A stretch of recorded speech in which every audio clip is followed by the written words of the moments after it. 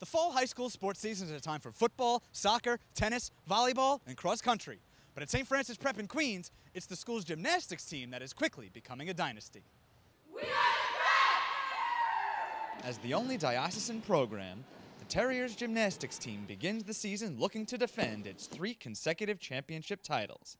The team is comprised of 16 student athletes competing on the varsity and junior varsity levels. It's very easy to come back and say, hey, we're going to do it again. We've done it for the last three years. We've got it in our back pocket, but that's so not true. We know that we have to work harder than ever. So the team is different every year, so we, we're trying to keep our focus on the present. Rather than winning, rather than scores, just think about what routines need to be done and how to do them well. We just need to work hard, try to stay as consistent as possible, keep practicing. The like most important part is probably team spirit. I would say cheer each other on. That really helps. The team is busy gearing up for its seven regular season competitions. Each meet features four events vault, uneven bars,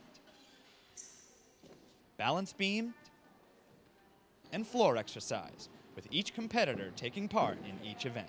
It's going to take a lot of hard practices. We have to work hard, get our team together, make sure everyone's on top of their things, but I think we could do it. We're going to try to like hit all our routines and like try our hardest and hopefully we do our best. I know what you're all thinking out there. Jim's gonna do some flip off this vault and stick a perfect landing. But rather than running the risk of breaking my neck, I'll leave the flips to the pros this time around. Now that's a perfect 10.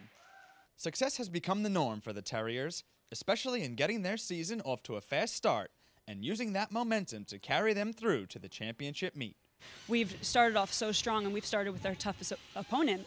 So going from there, it's been kind of like an easy ride afterward. We start in August, we start competing in about three weeks, so it's really, really quick. It's just, it's a little stressful. It's, it's a lot going on, so we just know we have to work really hard and be ready. It's great. We're doing it as a team. We're getting closer, making new friends, stronger bonds, and it's just great to do this thing together, and we hope to do it again this year. Training for gymnastics is a year-round process, so with the regular season set to begin, the team's off-season training regimen is sure to pay off. If you don't do routines during the fall, you're so out of shape, like you can feel it. And when I do it now, like, and I start like in November, I feel so much better because I already done it in high school gymnastics. You need to keep up with your body all all year because you can lose your lose your skills, you can lose your training, and you have to try and keep up with it because if not, it's going to take even more time to get your skills back, and we need to be on top of it the whole time. It might be a bit early for the Terriers to be thinking about a fourth straight championship, but if the team continues to improve at every practice and at every meet, St. Francis Prep will again be in the title hunt come late October. Reporting for Currents, I'm Jim Mancari.